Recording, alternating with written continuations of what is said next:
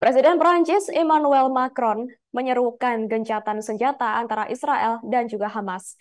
Adapun seruan tersebut ia ungkapkan untuk pertama kalinya pada konferensi bantuan Gaza di Paris, Kamis 9 November 2023. Ia pun menambahkan bahwa Prancis akan meningkatkan dukungan keuangannya ke Gaza.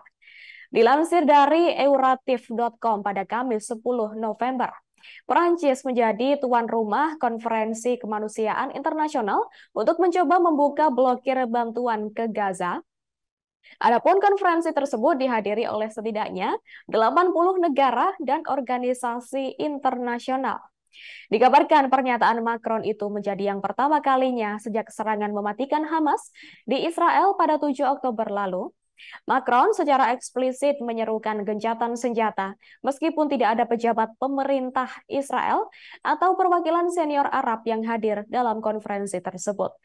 Adapun meski Macron mengatakan bahwa Israel mempunyai hak untuk membela diri dan kewajiban untuk melindungi rakyatnya, ia menegaskan bahwa pemerintah Israel juga memiliki tanggung jawab besar, yakni untuk tetap menghormati hukum dan melindungi warga sipil dalam mengatasi konflik. Seperti diketahui, pada awal konflik, Macron mengumumkan jumlah paket bantuan Perancis sebesar 20 juta euro untuk Gaza. Bantuan itu disebutkan untuk melindungi warga sipil dan memberikan bantuan kemanusiaan.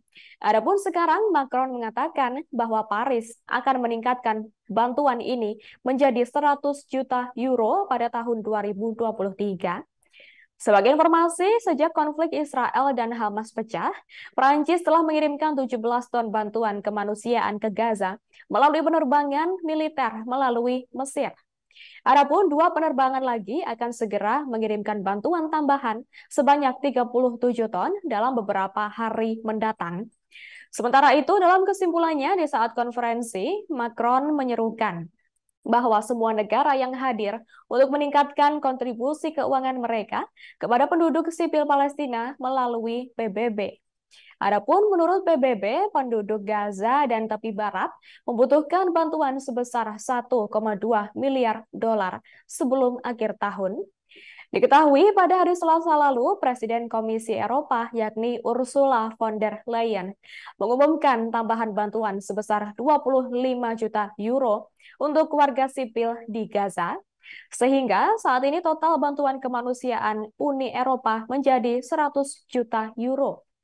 Sebagai informasi, menurut pernyataan terbaru Kementerian Kesehatan Palestina, jumlah korban jiwa akibat agresi Israel hingga hari ke-35 telah mencapai 11.078 orang.